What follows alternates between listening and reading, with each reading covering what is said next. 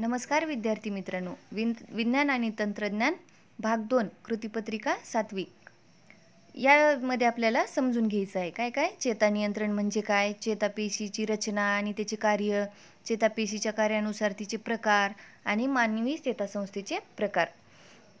यामध्ये आपल्याला कुठले कुठले क्षमता आपल्या क्षमता विधाने सिद्ध होतात? काय काय करता येतं आपल्याला? की चेतापेशीचं आकृतीसह आपल्याला वर्णन करता येतं. चेतापेशीच्या कार्यानुसार त्याचं वर्गीकरण करता येतं. तर सुरुवातीला आपल्याला मानवामध्ये नियंत्रण कसं होतं हे अभ्यासायचं आहे मानवामध्ये दोन प्रकारे नियंत्रण होतं. पहिलं आहे चेता नियंत्रण आणि दुसरं आहे रासायनिक नियंत्रण. याच्यामध्ये आपल्याला फक्त चेता नियंत्रणाचा अभ्यास करायचा आहे. तर यामध्ये पर्यावरणातील बदलांच्या अनुषंगाने मानवी शरीरामध्ये आवेग निर्माण होतात. आणि पेशीमध्ये या आवेगांना प्रतिसाद देण्याची क्षमता निर्माण करण्याचे महत्त्वाचे कार्य हे चेता नियंत्रणाद्वारे केले जाते. की पर्यावरणाकडून जे आवेग निर्माण होतात. त्या वेगांना प्रतिसाद देण्यासाठी आपल्याला कोण मदत करतं हे चेता नियंत्रणाद्वारे आपलं हे कार्य पार पडतं.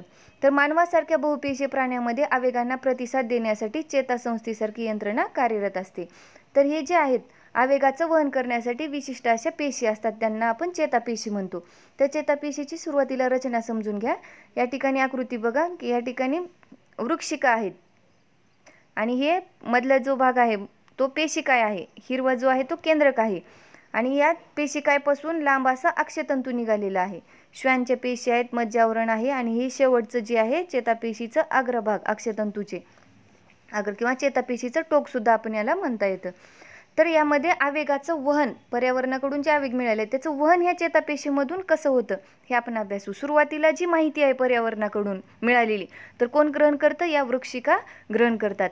हे आवेग यामध्ये त्या आवेगाचं रूपांतर विद्युत आवेगामध्ये निर् निर्माण होतात. ह्या ठिकाणीच तिथेच रासायनिक प्रक्रिया होऊन विद्युत आवेग निर्माण होतात आणि हे आवेग परत कुठं येतात? पेशिकायमध्ये येतात. पेशिकायमधून हे आवेग कुठे येतात? अक्षतंतूमध्ये येतात. अक्षतंतूकडून हे आवेग चेतापेशीच्या टोकाकडे येतात.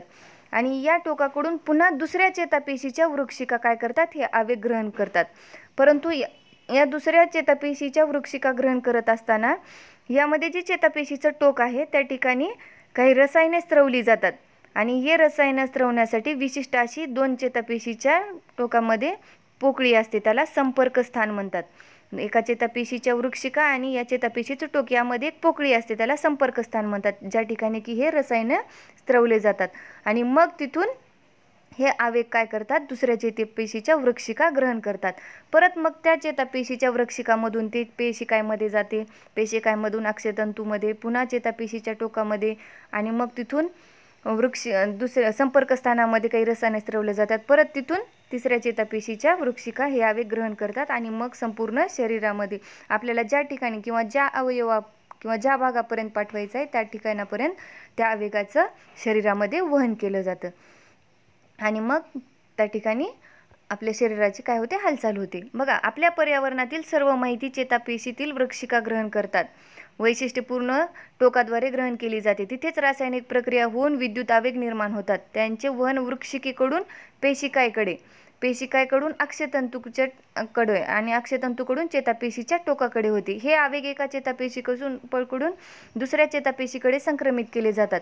यासाठी पहिल्या अक्षतंतूच्या शेवटच्या टोकाशी पोचलेला विद्युत आवेग. चेतापेशीला काही रसायने स्त्रवण्यास उद्युक्त करतो. म्हणजे या ठिकाणी काही रसायने स्त्रवतात आणि ही रसायने दोन चेतापेशी दरम्यान असलेल्या अतिसूक्ष्म पोकळीला म्हणजेच कुठं? संपर्कस्थान म्हणतात त्याला.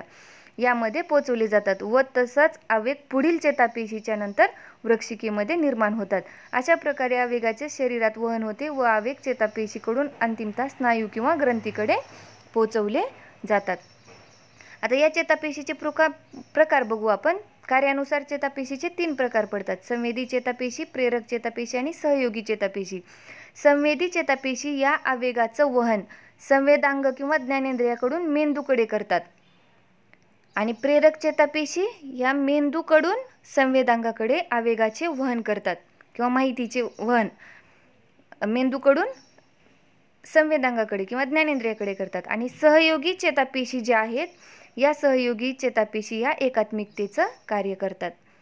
त्यानंतर आपण मानवी चेतासंस्थेचे प्रकार अभ्यासणार आहोत. मानवी चेतासंस्था या तीन प्रकारच्या तीन भागात विभागलेली आहे. पहिली आहे मध्यवर्ती चेतासंस्था दुसरी आहे परिघीय चेतासंस्था आणि तिसरी आहे स्वायत्त चेतासंस्था. प्रकार नीट लक्षात घ्या. पहिले आहेत चेतापेशीचे प्रकार आणि हे आहेत चेतासंस्थेचे प्रकार.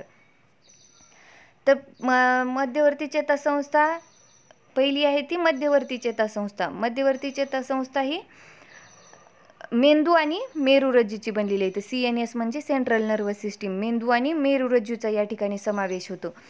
दुसरी आहे परिघीय चेतासंस्था. यामध्ये पूर्ण चेतापेशीचं जे जाळ आहे शरीरामध्ये हे पूर्ण शरीरामध्ये पसरलेले असते. ती पेरिफेरल नर्वस सिस्टीम पूर्ण शरीराला हे जोडलेलं असतात. आणि स्वायत्त चेतासंस्था जी आहे ती स्वायत्त प्रकारचे असतात ॲटोनॉमिक नर्वस सिस्टीम तर हे चेतासंस्थेचे तीन प्रकार आहेत. आता यावर आधारित तुम्हाला काही प्रश्न विचारलेले आहेत. चेतासंस्थेचे प्रकार मध्यवर्ती चेतासंस्था परिघीय चेतासंस्था आणि स्वायत्त चेतासंस्था. आणि यामध्ये पुन्हा नंतर चेतापेशीची आकृती आहे त्याला आपल्याला नामनिर्देशित करायचं आहे. वृक्षिका पेशिका केंद्रक श्वानपेशी अक्ष चेतापेशीचे टोक हे सर्व नावं द्यायची आहेत. तर नंतर शरीरात एका ठिकाणाहून दुसऱ्या ठिकाणी संदेशाचे वहन करण्याचं कार्य कुठल्या पेशी करतात? चेतापेशी करतात. मानवी शरीरातील सर्वात लांब पेशी चेतापेशी आहेत. चेतापेशींना आधार देणाऱ्या वे त्यांच्या कार्यात मदत करणाऱ्या पेशींना काय म्हणतो आपण? चेता बंद म्हणतो. तर या सर्व प्रश्नांची उत्तरे तुम्ही व्हिडिओ बघून करू शकता. तर हे तुम्ही सर्व प्रश्नांची उत्तरं देण्याचा प्रयत्न करा.